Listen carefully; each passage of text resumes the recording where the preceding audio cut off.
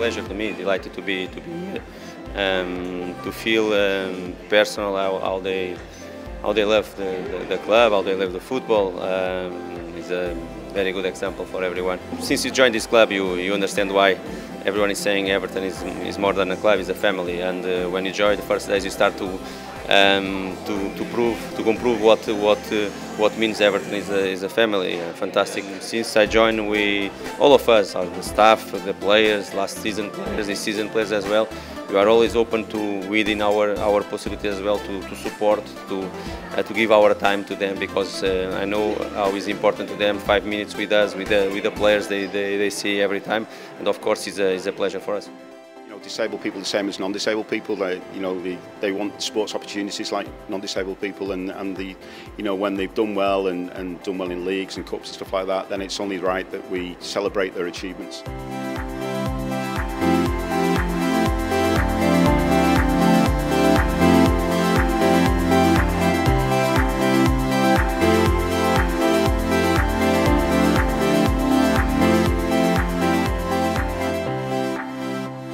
Amazing, absolutely amazing. Seeing all these wonderful young people just enjoying themselves, and in particular, I think Everton in the community and the Everton Football Club supporting them to do what they do best.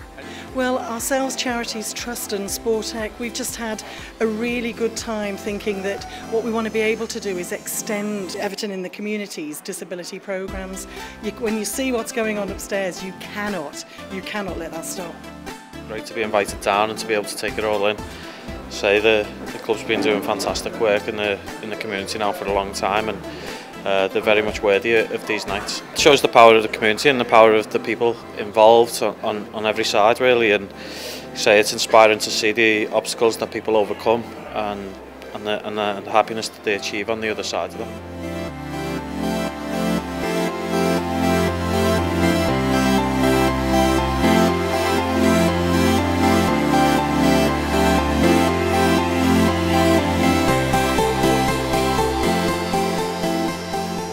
fantastic gesture from the, from the chairman to give tickets to to the players. Some of probably who you know have never been to a game before, so they'll be really excited to to go to that. And as I say, it's an unbelievable gesture, and uh, hopefully they'll enjoy the evening.